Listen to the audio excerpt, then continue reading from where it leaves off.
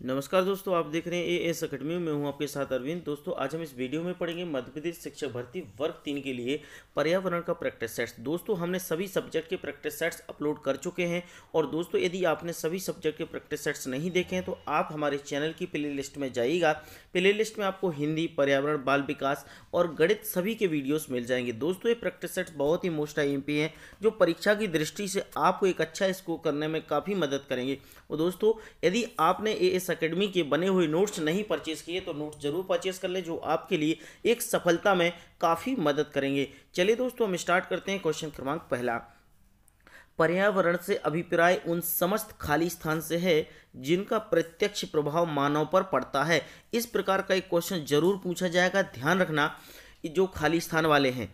पर्यावरण से अभिप्राय उन समस्त और फिर आता है खाली स्थान से है जिनका प्रत्यक्ष प्रभाव मानव पर पड़ता है, शक्तियों से, प्रक्रियाओं से और तथ्यों से।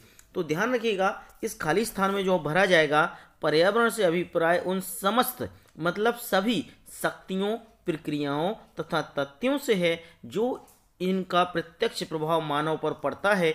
इसलिए ऑप्शन नंबर डी आंसर इसका सही रहेगा। नेक्स्ट क्वेश्चन है आपका, पर्यावरण के पर्यावरण के खाली स्थान घटक परस्पर क्रिया द्वारा जैव मंडल की रचना करते हैं। यानी पर्यावरण के कौन कौन से घटक हैं जो परस्पर आपस में क्रिया करके जैव मंडल की रचना करते हैं? जैव, अजैव, ए तथा बी दोनों इनमें से कोई नहीं। तो देखिएगा, पर्यावरण में जैव और अजैव, यानी कि दोनों घटक मिलके आपस में क्रिया करते हैं जब हमारे जैव मंडल की रचना होती है।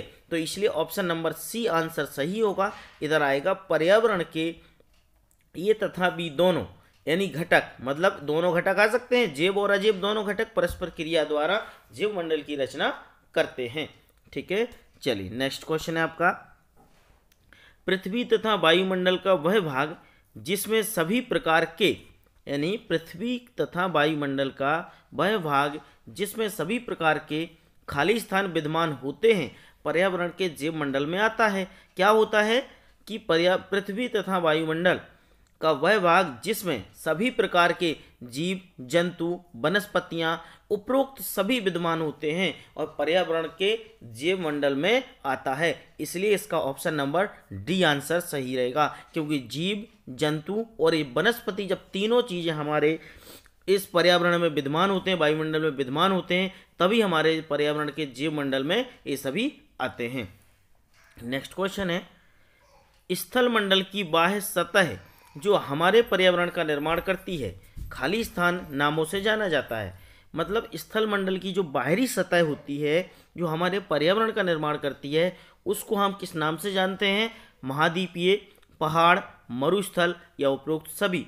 तो ध्यान रखिएगा इसका answer, option number D answer सही होगा। महाद्वीप, पहाड़ और मरुस्थल, ये हमारी सभी क्या होती हैं? बाहरी सतह होती हैं। इन सभी नामों से हम इसको जान सकते हैं। इसलिए ऑप्शन नंबर डी आंसर आपका सही होगा।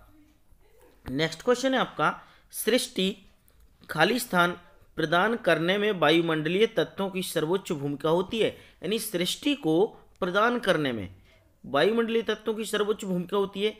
जीवन प्रदान करने में, या मृत्यु प्रदान करने में, या उपहार प्रदान करने में, या इनमें से कोई नहीं। तो सृष्टि को क्या होगा? जीवन प्रदान करने में वायुमंडलीय तत्वों की सर्वोच्च भूमिका होती है। इसलिए ऑप्शन नंबर ए आंसर सही होगा।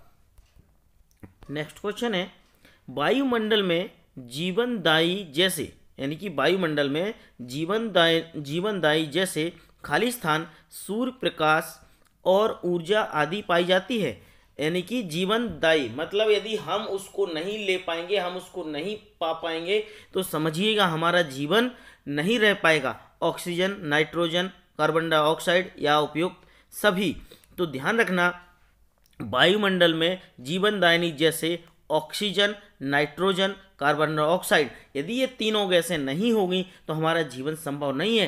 तीनों चीज़ों की आवश्यकता है। ऑक्सीजन की भी आवश्यकता है, उतनी ही नाइट्रोजन की आवश्यकता है, उतनी कार्बन डाइऑक्साइड की आवश्यकता है। लेकिन यहाँ पर ऑक्सीजन की भी बहुत आवश्यकता होती है। हम तो ऑक्सीजन नहीं होगी तो हम क्या करेंगे? सांस ही नहीं ले पाएँगे, है ना? और यदि हमारे पेड़ कार्बन डाइऑक्साइड नहीं लेंगे तो हमारे वायुमंडल में क्या होगी? कार्बन डाइऑक्साइड भरी रहेगी। तो हम लोग फिर नुकसान में रहेंगे। तो इसलिए ये सभी चीज़ें होना आवश्यक है। तो ऑप्शन नंबर डी आंसर इसका सही रहेगा। नेक्स्ट क्वेश्चन है, वायुमंडलीय तत्व को घेरे हुए हैं। वायुमंडलीय तत्वों को कौन घेरे हुए स्थल मंडल जलमंडल, स्थल तथा जलमंडल दोनों, इनमें से कोई नहीं। तो ध्यान रखना, वायुमंडलीय तत्व को हमारे स्थल मंडल तथा जलमंडल ये दोनों घेरे हुए हैं। नेक्स्ट क्वेश्चन है आपका। वायुमंडल के तत्वों का समुच्चय, जो वायुमंडल के तत्वों का जो समुच्चय क्या कहलाता है? जलवायु मासल मौसम और जलवायु, इनमें से कोई नहीं तो हमारे जो वायुमंडल का जो समुच्चय है, यानी उनका जोड़ा है, वो उसको हम क्या कहते हैं? मौसम और जलवायु, यानी कि मौसम और जलवायु के समुच्चय कहलाता है वायुमंडल के तत्वों का, ठीक है? नेक्स्ट क्वेश्चन है, वायुमंडलीय तत्वों के खाली स्थान के कारण पृथ्वी के धरातल पर विभिन्न प्रकार की वनस्पतियाँ तथा जीव पाए जाते हैं। वो कैसे होते हैं? असमान वितरण, समान वितरण, ठोस वितरण, इनमें से कोई नहीं। तो इसका आंसर आप मुझे कमेंट बॉक्स में लिख के बताइएगा कि इसका आंसर क्या होगा। नेक्स्ट क्वेश्चन है, खाली स्थान द्वारा मानव अपने पर्यावरणीय ज्ञान में वृद्धि कर रहा है, यानी किसके द्वारा मानव अपने पर्यावरण के ज्ञान में वृद्धि कर रहा है? जाँच विधि द्वारा, भूल विधि द्वारा, जाँच एवं भूल विधि द्वारा, दोनों द्वारा, इनमें से कोई नहीं। तो ध्यान रखिएगा, जाँच एवं भूल विधि द्वारा मानव अपने पर्यावरणीय ज्ञान में वृद्धि कर रहा है या करता रहा है। ऑप्शन नंबर सी आंसर इसका सही रहेगा। नेक्स्ट क्वेश्चन है, अन्य जीवों के समान मतलब अन्य मतलब दूसरे जीवों के समान खाली स्थान भी पर्यावरण का एक अंग है मतलब अन्य जीवों के समान पर्यावरण भी एक अंग है। अब किसका अंग है? मानव, सभ्यता, संस्कृति या इनमें से कोई नहीं। तो ध्यान रखिएगा, इसका जो सही आंसर होगा, अन्य जीवों के समान मानव भी पर्यावरण का एक अंग है। देखिएगा, हमारे मानव भी तो पर्यावरण में ही रहते हैं। ऐसा तो नहीं कि पर्यावरण से अलग रहते हो। तो ऑप्शन नंबर इसका ए आंसर सही रहेगा। इस प्रकार का क्वेश्चन ज़रूर पूछा जाएगा। ध्यान रखना, इस सीटेट से रिलेटेड क्वेश्चन इस तरीके के क्वेश्चन सीटेट में पूछे जाते हैं। निम्नलिखित में से किसके अनुसार पर्यावरण एक बाह्य शक्ति है जो हमें प्रभावित करती है? यानी कौन सी शक्ति इन चारों के अनुसार है जो हमारे लिए वो प्रभावित करती है? तो किसका सही आंसर कौन सा होगा? ई जे रॉस ठीक है, ऑप्शन नंबर सी आंसर आपका सही रहेगा। नेक्स्ट क्वेश्चन है, पर्यावरण वह सब कुछ है जो किसी जीव या वस्तु को चारों ओर से घेरे रहता है और उसे प्रत्यक्ष रूप से प्रभावित करता है। यह कथन किसका है? इसका आंसर आप लोग मुझे बताना, कमेंट बॉक्स में लिख के कि इसका सही आंसर क्या होगा। ठीक है? चलिए, नेक्स्ट क्वेश्चन देखेंगे। पर्यावरण व्यक्ति के खाली स्थान स्वास्थ्य को बहुत प्रभावित करता है। पर्यावरण व्यक्ति के किसको स्वास्थ्य को बहुत प्रभावित करता है? मतलब मानसिक स्वास्थ्य को, या संवेगात्मक स्वास्थ्य को, या शारीरिक स्वास्थ्य को, या इनमें से कोई नहीं। तो ध्यान रखिएगा जो पर्यावरण होता है, यह हमारे शारीरिक स्वास्थ्य को बहुत प्रभावित करता है। इसलिए ऑप्शन नंबर सी आंसर इसका सही रहेगा। नेक्स्ट क्वेश्चन है, पर्यावरण प्रकार का होता है। पर्यावरण कितने प्रकार का होता है? दो, तीन, चार, पाँच। तो पर्यावरण हमारा दो प्रकार का होता है। इस खाली स्थान में दो आ जाएगा। तो पर्यावरण कितने प्रकार का? दो प्रकार का होता है। भौतिक पर्यावरण को खाली स्थान पर्यावरण भी कह सकते हैं। जो भौतिक पर्यावरण को है, हम सामाजिक पर्यावरण या अभौतिक या प्राकृतिक या इनमें से कोई नहीं, कौन सा पर्यावरण कह सकते हैं? तो ध्यान रखना, जो हमारा भौतिक पर्यावरण होता है, इसको हम प्राकृतिक पर्यावरण भी कह सकते हैं। इसलिए ऑप्शन नंबर सी आंसर इधर पे आएगा। नेक्स्ट क्वेश्चन है, जैविकीय पर्यावरण को खालिस्तान भागों में बांटा जा सकता है। जो जैविकीय पर्यावरण होते हैं, इनको हम कौन से भागों में बांट सकते हैं? उत्पादक, उपभोक्ता, विनाशक या उपरोक्त, दोनों। तो इसका जो सही आंसर होगा, हम किसमें बांट सकते हैं? दोनों में बांट सकते हैं। दोनों में कौन कौन से बांट सकते हैं? इसके लिए जैविकीय पर्यावरण को उत्पादक, उपभोक्ता और विनाशक, हम इन तीनों में बांट सकते हैं। इसलिए ऑप्शन नंबर इसका डी आंसर सही रहेगा। नेक्स्ट क्वेश्चन है, प्राकृतिक पर्यावरण के खाली स्थान प्रमुख घटक हैं। पर्यावरण के जो घटक कौन से हैं प्राकृतिक पर्यावरण के? पानी, हवा, भूमि, ये तीनों आएँगे। देखिएगा, प्राकृतिक पर्यावरण में तो पानी भी आता है, हवा भी आती है, हमारा ज़मीन, भूमि भी आती है। इसलिए ये तीनों चीज़ें आएँगी तो ऑप्शन नंबर डी आंसर आपका सही रहेगा। नेक्स्ट क्वेश्चन है, खाली स्थान हमारे प्राकृतिक पर्यावरण के अंग हैं। प्राकृतिक पर्यावरण के अंग पेड़, पौधे, पानी, धूप, इनमें से कोई नहीं। तो ध्यान रखिएगा, हमारे जो प्राकृतिक पर्यावरण के जो अंग हैं, वो पेड़, पौधे हैं। यदि पेड़, पौधे नहीं होंगे तो हमारा पर्यावरण नहीं हो सकता, है ना? ऑप्शन नंबर ए आंसर सही रहेगा। नेक्स्ट क्वेश्चन है, पर्यावरण प्रदूषण के मुख्य घटक कौन कौन से हैं? जो पर्यावरण प्रदूषण है, जल प्रदूषण, वायु प्रदूषण, ध्वनि प्रदूषण, इन तीनों से क्या होता है? हमारा पर्यावरण प्रदूषित होता है तो ऑप्शन नंबर डी आंसर मतलब है सभी होगा, ठीक है? तो ऑप्शन नंबर डी आंसर आपके लिए सही रहेगा। नेक्स्ट क्वेश्चन देखेंगे हम। वायु प्रदूषण की समस्या, वायु प्रदूषण की जो समस्या है, खाली स्थान प्रदूषण में भी अधिक जटिल है। मतलब जो वायु प्रदूषण की समस्या डैश डैश डैश यानी खाली स्थान है, प्रदूषण से भी अधिक जटिल है, जल वायु यंत्रों ध्वनि या इनमें से कोई नहीं।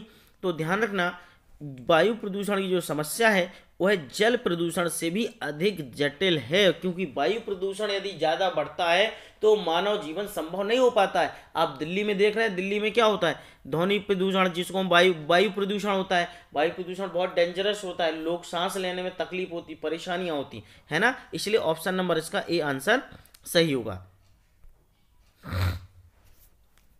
नेक्स्ट है, शिक्षा के द्वारा खाली स्थान खालिस्तान की शिक्षा अध्यापक के सहयोग के बिना दी ही नहीं जा सकती। मतलब शिक्षा के द्वारा खालिस्तान की शिक्षा अध्यापक के सहयोग के बिना दे ही नहीं जा सकती। समाज की शिक्षा, अच्छे पर्यावरण की शिक्षा या मनोवैज्ञानिक शिक्षा या इनमें से कोई नहीं। तो अब आपको ये बात पता होगा कि हम पढ़ क्या रहे पहले तो? पर्यावरण पढ़ रहे। तो इसमें पर्यावरण से रिलेटेड क्वेश्चन आएगा। तो शिक्षा के द्वारा, यानी शिक्षा के द्वारा अच्छे पर्यावरण की शिक्षा अध्यापक के सहयोग के बिना दी ही नहीं जा सकती। इसलिए ऑप्शन नंबर बी आंसर सही होता। यदि हम बाल विकास की पढ़ रहे होते तो बाल विकास में ऑप्शन नंबर सी आंसर इसका सही हो जाता, या फिर ए ऑप्शन सही होता। बट ए बी ऑप्शन सही नहीं होता। चलिए नेक्स्ट क्वेश्चन है। स्वस्थ विज्ञान के अंतर्गत शुद्ध जल का महत्व व अशुद्ध जल से उत्पन्न रोगों का अध्ययन किया जाता है, जो स्वास्थ्य विज्ञान के अंतर्गत शुद्ध जल का महत्व व अशुद्ध जल से उत्पन्न रोगों का अध्ययन किया जाता है। ये असत्य है, सत्य है या अनिश्चित है, या इनमें से कोई नहीं है। तो ये अनिश्चित है। ये सत्य, असत्य तो हम नहीं कह सकते हैं बट इसमें अनिश्चित हो सकता है। इसलिए ऑप्शन नंबर सी आंसर इसका सही होगा। नेक्स्ट क्वेश्चन है, प्राकृतिक पर्यावरण के साथ सांस्कृतिक पर्यावरण को जोड़कर किसकी संज्ञा दी गई है? जो प्राकृतिक पर्यावरण के साथ सांस्कृतिक पर्यावरण को जोड़कर किसकी संज्ञा दी गई है? जैविक पर्यावरण की, भौगोलिक पर्यावरण की या जलवायु की? या इनमें से कोई नहीं। तो देखो, अब क्वेश्चन ही समझ में आ जाता है, क्योंकि जलवायु से तो बात हो नहीं रही इधर पे। अब भौगोलिक हमारा पर्यावरण होता है और जैविक पर्यावरण होता है। तो अब प्राकृतिक पर्यावरण के साथ संस्कृति पर्यावरण को जोड़कर किसकी संज्ञा दी जा सकती है? या तो आपको जैविक पर्यावरण और भौग, भौगोलिक पर्यावरण, आपके दो ऑप्शन आ गए। दो ऑप्शन में आपका पॉजिटिव जो आंसर होगा, वो होगा भौगोलिक पर्यावरण। ठीक है? इसलिए ऑप्शन नंबर बी आंसर आपका सही रहेगा। नेक्स्ट क्वेश्चन है आपका। किसी भूभाग के वायुमंडल की दशा, जैसे तापमान, वर्षा, आर्द्रता, वायु की दशा, वायुदाब आदि के वार्षिक औसत को क्या कहा जा सकता है या क्या कहते हैं? प्राकृतिक वनस्पति, स्थल आकृति जलवायु या जल राशियाँ तो इसका जो सही आंसर होगा, भूभाग की वायुमंडल की दशा, तापमान, वर्षा, आर्द्रता, वायु की दशा, वायु आदि। के वार्षिक औसत को हम क्या कहते हैं?